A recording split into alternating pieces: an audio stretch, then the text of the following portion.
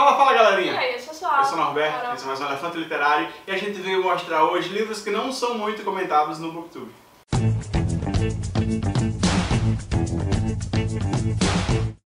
O primeiro livro que eu vou comentar aqui, eu acho que eu nunca cheguei a comentar nem no próprio canal, mas é o Clube do Filme, de David Gilmour.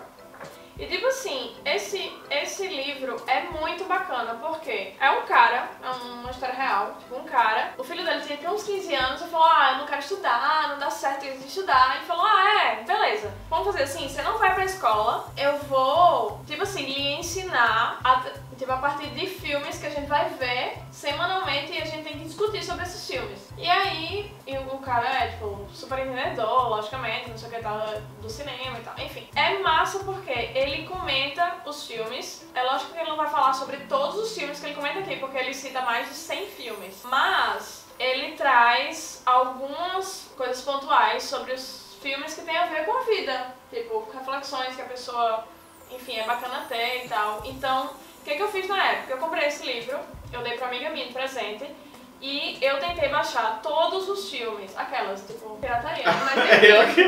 Mas é porque são, são filmes bem difíceis, tem muitos clássicos e tal. E aí eu consegui baixar alguns e, e tipo, juntei pra assisti-los. Assisti, assisti Hum. pouquíssimos. Talvez dois. Mas foi um exercício bacana, assim, de você, tipo, ler e grifar, ou, sei lá, marcar os livros e, e ver, ah, eu tenho interesse nesse. E aí ir atrás do, do filme pra ver. Pra quem gosta de cinema, muito bacana, vão ter muitos clássicos legais, vão ter obras importantes, inclusive, pra história do cinema, de maneira geral. O primeiro livro que eu trouxe pra comentar é este livrinho da editora Knockout, que é uma editora independente, chamado Um Gato Chamado Borges, de Vilto Reis. Esse livro aqui é meio louco, sabe? Eu comprei porque eu vi um, tipo um anúncio desses patrocinados e tinha esse livro, e veio um marcador de gato, bonitinho. Ele é tipo assim, tem essa cidade, pacata, tudo normal, de repente um radialista novo ali tem que fazer uma nota sobre um suicídio. Aí quando ele vai atrás desse suicídio, o cara com quem ele vai falar, eu acho que é, é tipo jornalista, alguma coisa do tipo, trabalha com mídia. Ele faz, não, vem cá que eu vou te contar uma história. Aí ele tá, ele vai contando uma história sobre a cidade, aí vão acontecendo coisas que você fica meio sem entender se é ficção ou se é realidade o que está acontecendo, as coisas meio se entrelaçando e no meio de toda essa história tem um gato, um gato chamado Borges. Todo lugar que esse gato tá, acontece alguma coisa misteriosa, importante ou alguma coisa que as pessoas não entendem muito bem. E esse gato aparece, tipo assim, a cena tá acontecendo, de repente o narrador fala, ah, e tinha um gato na cena olhando não sei de onde. Aí eu ficava tipo, o que é que tá acontecendo nesse livro? Acabou que eu entendi, não entendi muito bem. Mas é um livro que eu me diverti lendo, que tem essa coisa de você ficar, né, refletindo sobre o que é que esse gato tem a ver com a história. Achei misterioso. Eu achei também. Outro livro, eu já comentei aqui, mas é O Poder dos Quietos, de Susan Cain. Eu entendo ele não ser muito comentado no Booktube, porque é um livro um pouco mais técnico, digamos assim. Não é técnico, mas ele é mais denso. Ele não é um romancezinho. Que não ficção? É, é ficção? Não, é não ficção. É uma mulher que ela estuda, né, sobre isso. Ah, ele fala sobre introspecção. Então, por isso que eu acho que é um livro que é importante que seja lido, porque eu acho que é um assunto muito em comum com as pessoas hoje em dia. Assim, elas tem muito essa questão do da necessidade de, de extroversão, de todo mundo ter que ser comunicativo. Não, não tem que ser comunicativo. Eu tenho, inclusive, um vídeo falando sobre esse livro, falando justamente isso. Não é obrigado, tá tudo bem você ser introspectivo. Inclusive, tímido e introspectivo são coisas diferentes e eu acho que eu explico isso no vídeo. Ela vai trazer vários cases de vários grandes líderes, né, de, que são introspectivos e que tudo certo ser introspectivo e, e, e principalmente você se entender introspectivo, você se aceitar introspectivo é, assim, o primeiro passinho também pra você falar e você entender sobre isso. A Condição Indestrutível de Ter Sido, de Helena Terra, é outro livro que eu não vejo ser falado muito aqui, talvez pela data de lançamento dele, que na verdade nem é muito antigo, né? 2013. Mas eu nunca vi muitas resenhas, só quando Não eu é fui. muito antigo? Assim, tipo, 15 anos lembro. Não, 2013. Ah, tá vendo? Eu só achei algumas poucas, alguns poucos comentários sobre ele. Opa, tudo bom? Alguns poucos comentários sobre ele em, em vídeos antigos também, da mesma época, mais ou menos.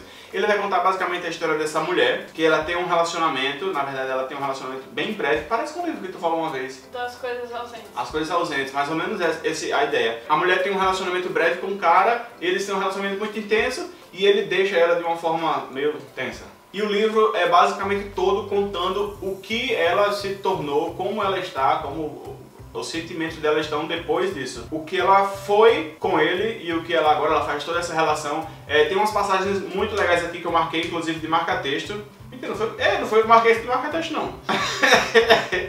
Menino, que interessante, né? Acho que eu peguei de alguém. Esse livro foi usado. Menino, recebi do Scooby. Tô descobrindo coisas aqui. Eu pensei que eu tinha feito, mas eu li e decorei isso e pensei que era tipo uma coisa assim, por exemplo, o ferrão das palavras dele precisava ser extraído. Terceiro livro que eu não acho que seja muito comentado, eu não sei se também é por causa da época, mas enfim, ele não é conhecido, é Garotas de Vidro, de Lauren Halsey Anderson. E assim, agora que eu tô percebendo que tem muitas marcações nele, eu gostei bastante. Inclusive tem um autógrafo aqui de Pan Gonçalves, porque foi ela que indicou, enfim. E é um livro que vai tratar sobre anorexia e bulimia, né? Assim, transtornos alimentares de maneira geral.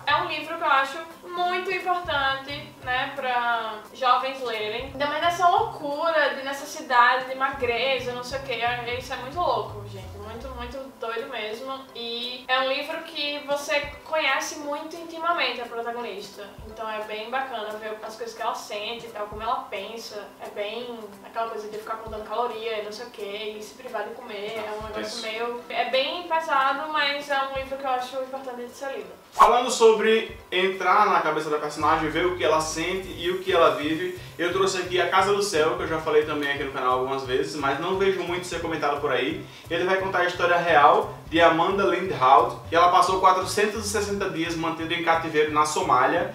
Então a gente vai acompanhar todo o momento, desde que ela, desde quando ela ainda era uma jovem que buscava aventuras, ela era freelancer como forte jornalista e saía para esses países em viagens, conhecia novas pessoas, ia com uma amiga, de repente quando ela foi sem, uma, sem essa amiga, aconteceu o sequestro com um cara que ela estava junto na época. Então é muito tenso ver tudo, todos os processos pelos quais ela passa. Tipo assim, desde, ah, fica quietinha aqui que a gente só quer o teu resgate até o momento que ela começa a perceber que aquilo não vai acontecer e ela começa a se revoltar e eles começam a ser violentos com ela, ela começa a sofrer muito com aquilo. Então é um livro pesadinho, mas é um livro muito bom de ser lido porque apesar de ser uma não ficção, ela conta a história de uma maneira tão encadeada, os fatos são tão bem encadeados que, que se torna um livro rápido de ser lido, apesar de suas quase 500 páginas. Eu acho que a pessoa tendo propriedade para falar fica ainda mais fácil, né? Você é. ter uma narrativa Não, com certeza. bacana e tal, assim, mais literalmente sua, né? Eu acredito que, na verdade, também ela foi em, co-escrita né, com Sarah Corbett, que deve ter ajudado um pouco nessa, nessa questão. Mas enfim,